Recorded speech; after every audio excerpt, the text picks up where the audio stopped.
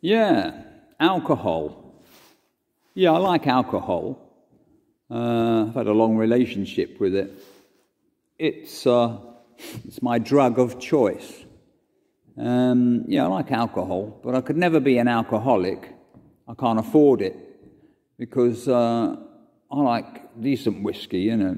Um, a double malt that's been matured for 20 years in the barrel, uh, and then another 10 years in my stomach. Yeah, lovely.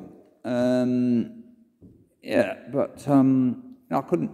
No, I, I couldn't be an alcoholic because one, I couldn't afford it, and two, I don't like the taste of um, alcohol first thing in the morning. You know, you get these alcoholics, and they've got a two litre bottle of white lightning, and they go down behind the advertising hoarding at six o'clock in the morning, scoffing that, uh, which they bought for 50p at the, um, at the market, and you know, at the grocers, probably run by Asians. They don't drink, do they? You know, it's against their religion, so there's a bit of a bit of a contradiction there, really. But anyway, but uh, no, so I couldn't be an alcoholic. Now, first thing in the morning, um, cup of tea, mm, mm, cup of tea, and two biscuits. Just the two. Don't overdo it. You know, don't go mad because um, that's just enough, isn't it? Because I, uh, just enough, not too much. Because I didn't get where I am today without having just enough, not too much. But that's enough about my sex life. Um, but yeah, a nice cup of tea. Because I used to have uh, two digestive biscuits, but um, I've had to switch now because um, being an old man, I, have got this um, this problem with my guts. I haven't got any. hey?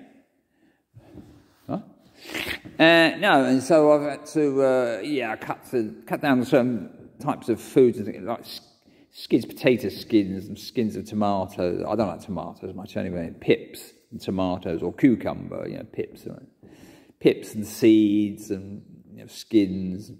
And um, with the uh, with the digestives, yeah, it was the bits of sort of oaty bits that were in there, hard to digest. They hang around in the gut and irritate your gut. And I get irritated enough as it is these days, you know. The missus will tell you that. Um, so no, so now it's uh, I've had to have two rich tea now. Yeah, yeah, a cup of tea, two rich tea with a cup of tea. Yeah, it sounds all right, doesn't it? Yeah, it's fair enough.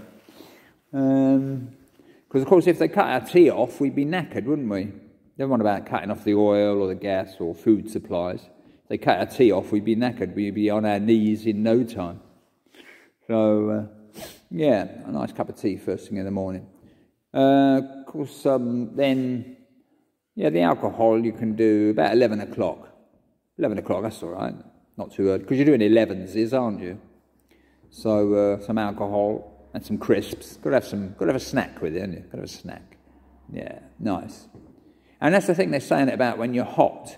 Oh, you know, drink some water or cold water or some juice. Juice is too thick in the throat, isn't it?